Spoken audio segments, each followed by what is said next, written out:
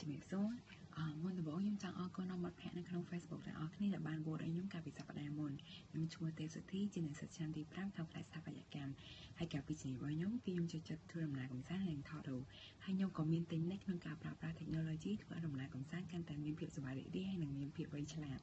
ហើយមូលហេតុដែលខ្ញុំសម្រេចចិត្តដាក់ពាក្យប្រឡងនៅក្នុងកម្មវិធី Cambodia Gadget Girl 2016 by Staff Cambodia ហ្នឹងគឺដោយសារ